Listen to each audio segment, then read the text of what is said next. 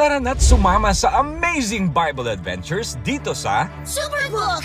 ang exciting at action-packed Season 3 episodes mapapanood mo na sa YouTube. Maganda ang kwento na to! Marami tayong matututunang lessons from Jesus.